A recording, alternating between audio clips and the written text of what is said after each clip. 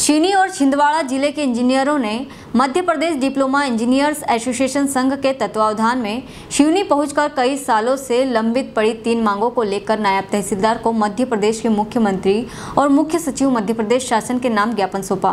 पहली मांग सहायक यंत्री का पदनाम दिया जाए।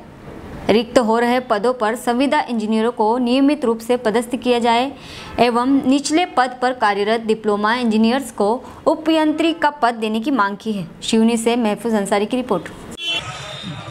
आज प्रांत प्रांताध्यक्ष राजेश सिंह भदौरिया जी के नेतृत्व में उनके निर्देशन पे इंजीनियर्स एसोसिएशन की तीन मांगों को लेकर ज्ञापन सौंपा गया है।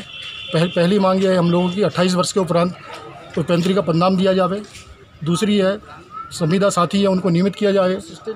और तीसरा जो है तीसरी मांग जो डिप्लोमा इंजीनियर्स जो हैं जो निचले पदों पर कार्यरत है उनको उप- उपयंत्री उपयंत्री का पद दिया जाए। आगे जैसे निर्देश मिलेंगे जैसे प्रांताध्यक्ष महोदय निर्देश देंगे उस हिसाब से आगे की कार्रवाई करेंगे। क्या नाम आपका? मैं इंजीनियर आर के श्रीनिवास प्रांतीय सचिव हमारे साथ में जिला सचिव आप देख रहे हैं हमारा channel S W twenty four news हमारे सारे वीडियो सबसे पहले देखने के लिए आप हमारे चैनल को सब्सक्राइब करें और पास में लगे बेल आइकन को दबाना बिल्कुल भी ना भूलें।